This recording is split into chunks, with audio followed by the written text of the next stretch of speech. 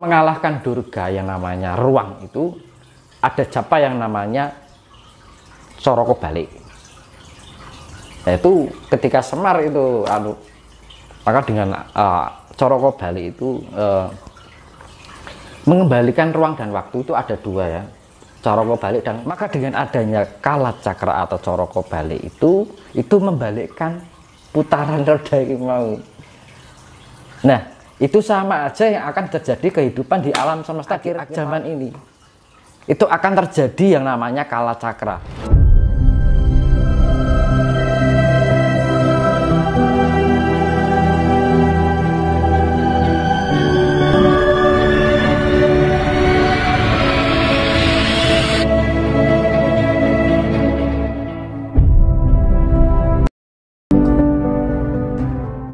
mendefinisikan kapitayan itu sebagai kepercayaan kepada Sang Yang Taya. Iya, percaya. Percaya kan dari arti yakin karena yang lain yakin. Hmm. Mempercayai. Hmm. Ya kan? Kalau keyakinan. Hmm. Itu agama yang tumbuh dari dalam diri, Mas. Jadi kan kan orang sekarang kan pada kayak kapitayan semua lah kapitayane wong Jawa lah gitu mana ada penyebutannya di mana gitu kan? Kapitayannya bagaimana gitu? Iya iya iya. Ya kan? Agama pun juga kapitayan namanya kepercayaan. Nah. agama itu adalah kepercayaan. Ya, jadi yang yang membingungkan itu kadang eh, istilah kapitayan itu apa benar-benar di Jawa kuno dulu itu sebagai apa ya nama nah nama itu kan ajaran, gini mas. kan dan, setiap kapitayan itu mempunyai uh, perspektif yang berbeda. Ya mas.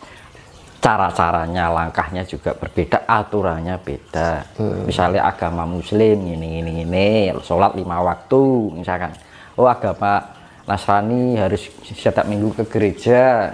Nek wong Jawa wong Jawa kan lebih luas yeah. fleksibel mm-hmm.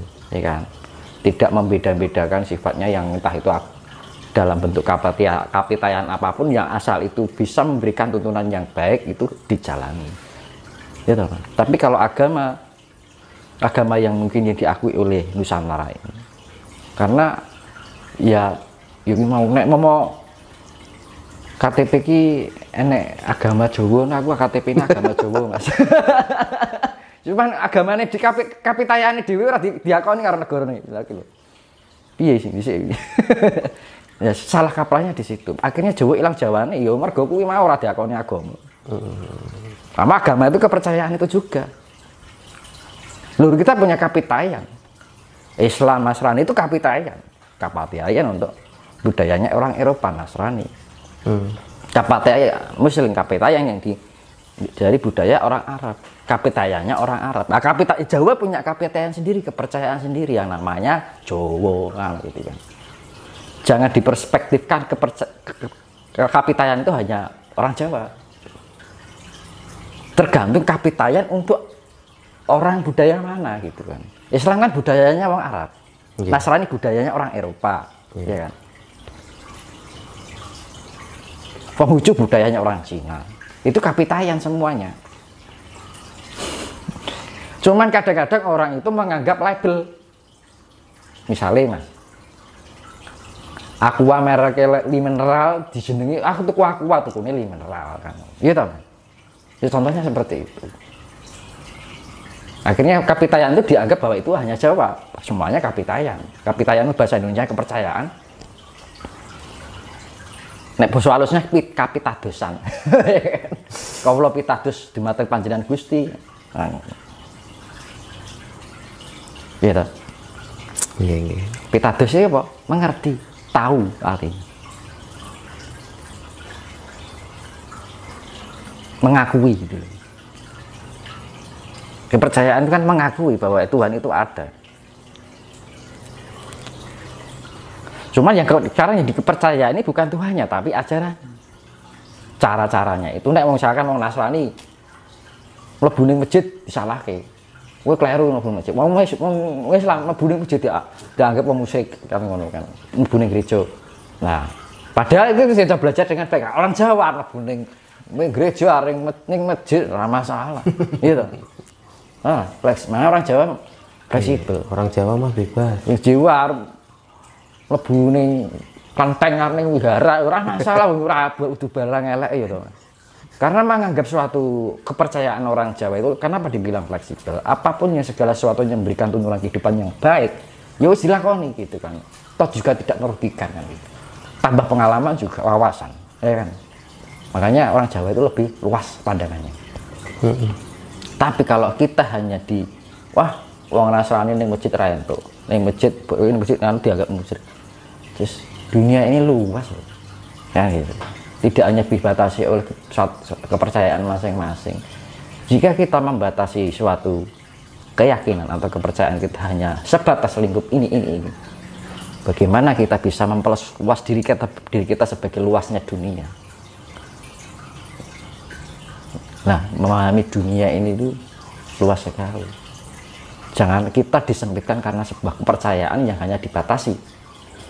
Lingkup kinerja kita, perjalanan kita itu dibatasi hanya ini itu ada. Yus ngono kuwi perkembangan. Makanya yus pembodohan ini mobile.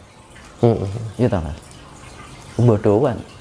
Nek wong Jawa arep ning gereja, arep ning masjid, ning kelenteng ya masalah. Enggak masalah. Fine-fine aja. Sebelum adanya ajaran yang datang ke Nusantara dulu negara ini lebih jaya kan. Baik-baik saja. Masih ada tantra, ya kan. Bisa dijelaskan tentang Bhairawa Tantra? Tantra itu hubungan sinergi ya, Mas, antara keselarasan manusia dengan sang pencipta.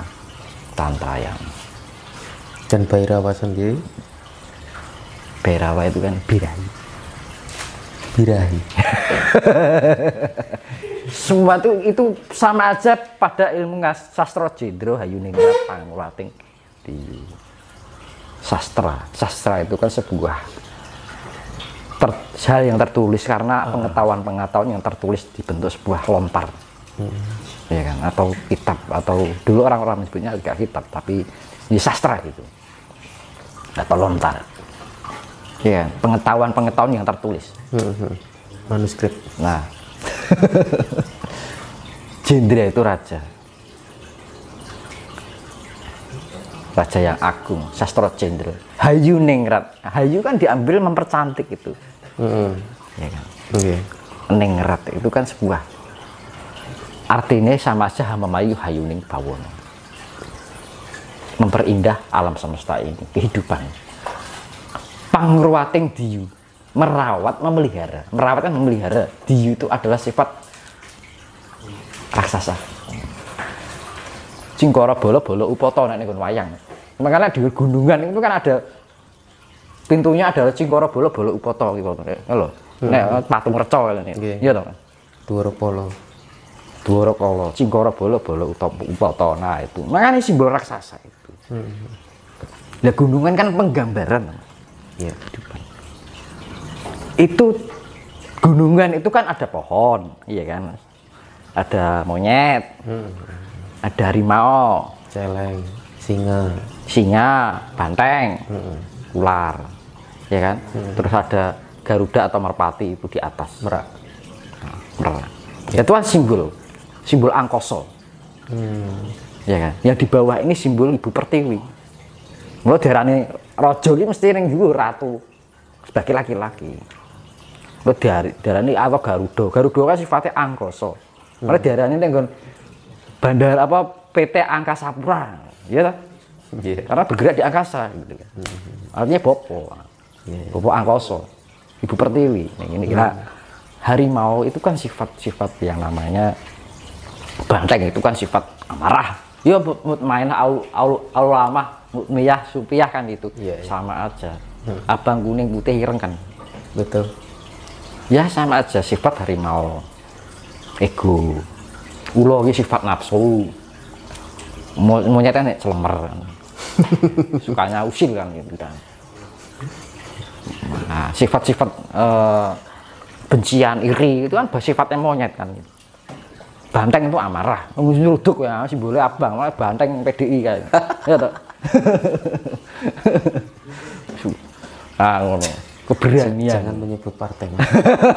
Enggak itu istilah gitu. Nggih, nggih. Terus harimau keegoan, ya kan. Orang kalau ego itu kalau kelebihan jadi suatu kesombongan, merasa benar, merasa suci, merasa paling baik.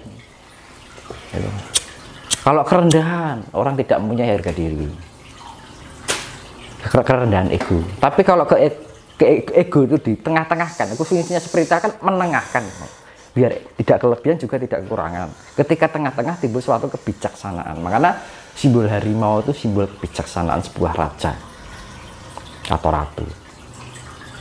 Ular itu simbol nafsu, keinginan. Monyet itu sifat iri dengki serai.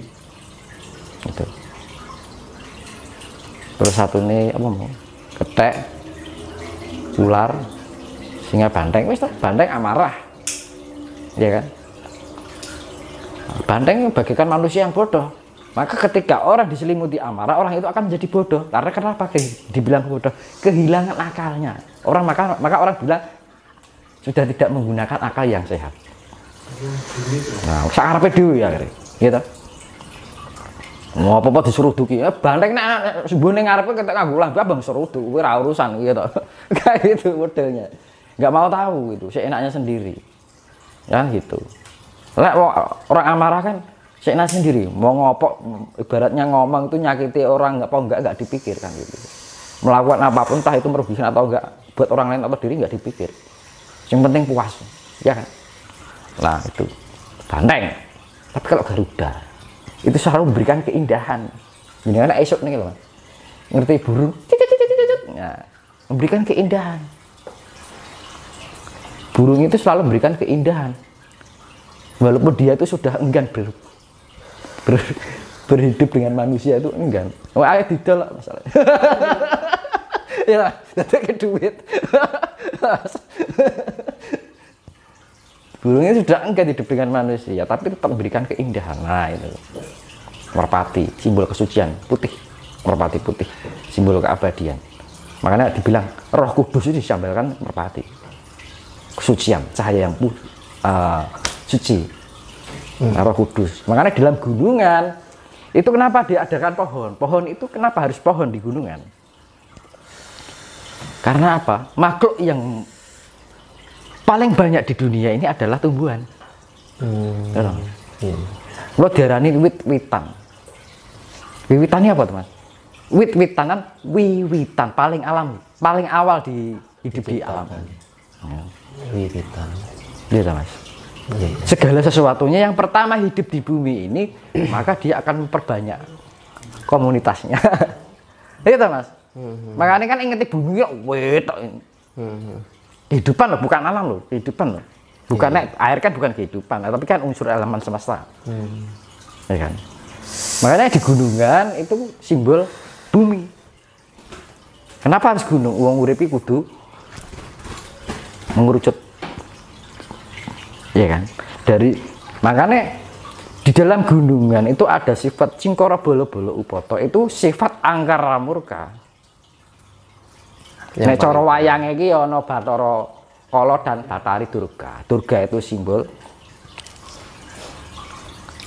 kemurkaan. Angkara. Angkara itu ya kala ini. Oh iya. Lah, Durga itu artinya apa? Ruang. Secara bahasa metafisik kan.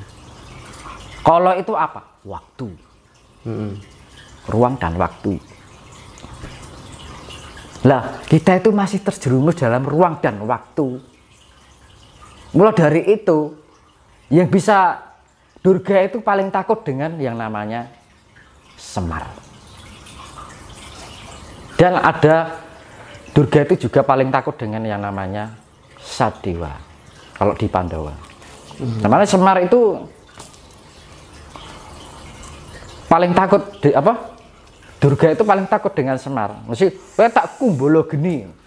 Angus dan gampangane kan gitu. Nah, ini cerita pewayangan.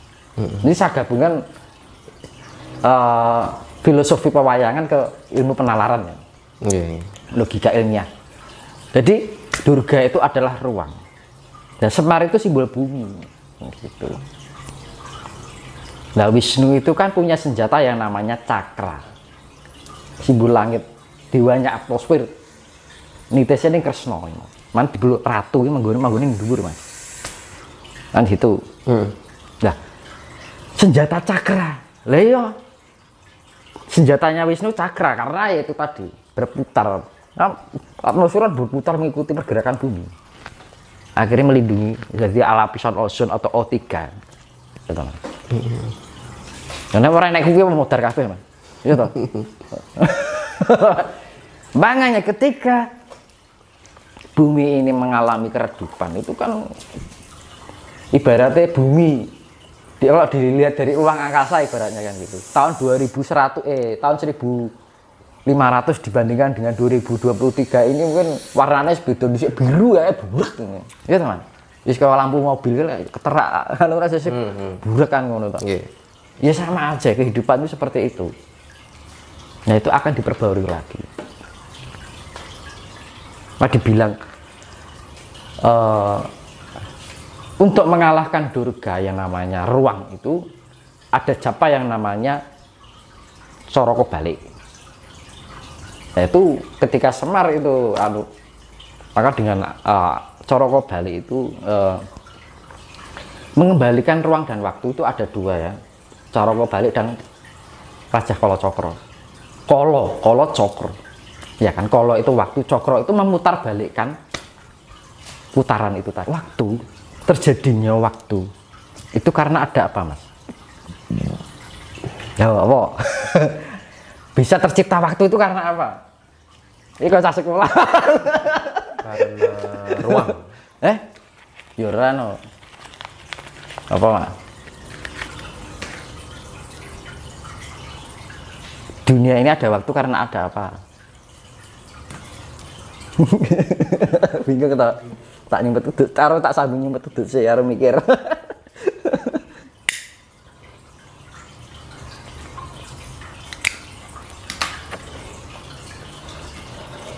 ya, Kak Ari, Mas. Padahal bendino kita tiap hari kita tahu loh, Mas. Karena ada perjalanan. Sekarang gini, Mas. Waktu. Lah, tanggalan itu 1 2 3 sampai 30 kan waktu ki. Ya toh, Mas. Hmm.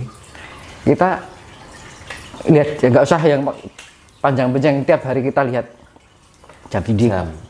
berputar toh. Hmm. Artinya menghasilkan waktu toh. Hmm. Ya iya bisa. Yang menghasilkan waktu adalah putaran. Hmm. Karena bumi ini berputar. Yang namanya cakra. Gitu mas. Nah, dengan adanya putaran waktu itu akhirnya menghasilkan jarak. Ya, toh mas. Iya. Jadi kan arning Jakarta lah butuh waktu ya. Hmm. Hmm. Ya toh. Mas? Nggih. Ruang. Lah jarak itu menghasilkan ruang itu tadi. Nah, toh mas. Siap. mau nggak mau kita melewati ruang itu tadi. Makanya kita hidup itu di ruang tiga dimensi yang masih terselubung antara ruang dan waktu. Betul. Ya. Siap. Nah, ruang dan waktu ini akan menghasilkan karma. Ketika manusia itu menanamnya baik, ya yang dihasilkan juga ba- baik. Tapi kalau menanamnya buruk, yang dituai ya juga keburukan. Sama aja. Itu karena apa? Karena proses ruang dan waktu. Maka dengan adanya kala cakra atau coroko balik itu, itu membalikkan putaran roda ini mau. Nah, itu sama aja yang akan terjadi kehidupan di alam semesta di akhir tahun ini. Eh, akhir tahun. Di akhir zaman ini. Itu akan terjadi yang namanya kala cakra atau cakra balik. Cokro balik, caroko balik kan cokro balik mas asli. Itu cara balik itu aslinya cokro balik. Iya, iya. Kita memutar balikkan roda cakra itu yang menghasilkan buah karma buruk. Kan kita ini ber- berjalan roda ini berputar menghasilkan keburukan.